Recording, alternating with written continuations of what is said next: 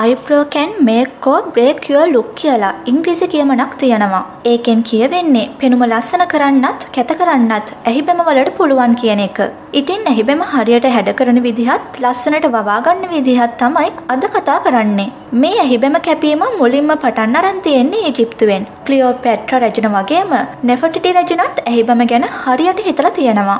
ඒ කාලේ කාන්තාවන් වගේම පිරිමි පාර්ශවයත් ඇහිබැම කපලා පාට ගාලා හැඩ කළාලු. ගෙදරක බලලෙ කාන්තරා වුණොත් ඒ බලලගේ ශාපයෙන් මිදෙන්න පවුලේ හැමෝම සම්පූර්ණයෙන්ම ඇහිබැම කපලා තියෙනවා. හැට හැත්තෑව දශකවල ඉඳලම අපේ රටේ අයත් ඇහිබැම හදන්න අරන් තියෙනවා. හීන් නූල් ගානට ඇහි බැම හීන් කරණය කළු ඒ කාලෙ විලාසිතාව.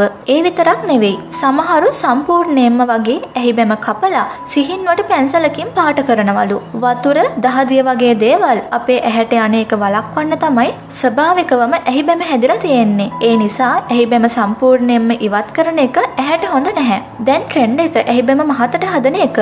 ඒ නිසා දැන් ඇහි බැම කපන එක කෙසේ වෙතත් වවා ගන්න තමයි ගොඩක් අය උත්සාහ කරන්නේ. ඇහි බැම මහතට දිගට පෙනෙන්න දැන් මයික්‍රබ්ලේඩින් අයිබ්‍රෝ ටැටූ වගේ දේවලුත් කරනවා. ඇහි බෙම සම්පූර්ණයෙන්ම අයින් කරලා අයිබ්‍රෝ වගේ පේන්න ටැටූ එකක් ගහන එකටයි අයිබ්‍රෝ ටැටූ කියන්නේ. මේ විදිහට ටැටූ එකක් ගැහුවම මුළු ජීවිත කාලෙම තියෙන නිසා මූණේ ටැටූ එකක් කොටන්න කලින් දෙපාරක් හිතන එක හොඳයි.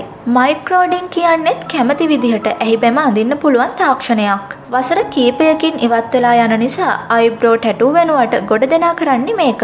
අයිබ්‍රෝ ටැටූ එකක් කළත් මයික්‍රෝඩින් එකක් කළත් පළපුරුදු රූපලාවන්‍ය ශිල්පියෙක් තෝරා ගන්න එක ඉතා වැදගත්. නැත්නම් සමාශ්‍රිත ආසාදන ඇති වෙලා මූණේ නොමැකෙන කැලල් ඇති වෙන්න පුළුවන්. මයික්‍රෝඩින් එකක් කළාට පස්සේ දවස් 7ක් යනකම්ම සැර සබන් ගාන එක, මේකප් කරන එක, අවුවේ මුහුදේ ඇලදොලවල යන එක, කසන එක කරන්න එපා කියලා රූපලාවන්‍ය ශිල්පියා උපදෙස් දෙනවා. ඒ උපදෙස් අනිවාර්යයෙන්ම පිළිපදින එකත් වැදගත්. ඇහිබෙම හදන්න කලින් මූණේ හැඩයට ගැලපෙන ඇහිබෙම හැඩේ හොයාගන්න ඕන. හදවත් හැඩේ මූණකට රවුම් ඇස් බැමිත් මූණ හතරැස් නම් කෝණ හැඩය නැත්නම් වක්‍රාකාර බැමකුත් රවුම් මූණට හොඳ පිරුණු කෙටි ආරුක්කු හැඩයක් ගැලපෙනවා. ඕවල් මූණක් තියෙනවා නම් ඕනම හැඩයක් ගැලපෙනවා. හැබැයි මෘදු ආරුක්කු හැඩේ වැඩිය ලස්සනයි. පැතලි බැම තමයි දිගටි මූණට හොඳ. හැඩේ තෝරගත්තයින් පස්සේ ඇහි බැම පාට කරන්න අයිබ්‍රෝ ආලේපන තෝරගන්න ඕන. පැන්සල් දියර ජෙල් විදිහට මේ ආලේපන තෝරගන්න පුළුවන්. අයිබ්‍රෝ ආලේපන ගන්නකොට කළු පාට ගන්න එපා. කළු පාටින් පාට කළාම ඇහි බැමට එන්නේ විකාර පෙනුමක්. අලු නැත්නම් දුඹුරු පාටින් පාට කළාම ස්වභාවික පෙනුමක් ගන්න පුළුවන්. මුලින් ඇහි බැම දෙක එක පැත්තකට පීරගන්න. ඊට පස්සේ මුලින්ම යට අවුට්ලයින් එක අඳින්න. දෙවනුව උඩ ලයින් එක අඳින්න. මුල තියෙන ඇහි බැම කෙස් ටික පාට කරන්නේ නැතිව ඊට පස්සේ තියෙන බැම පාට කරන්න.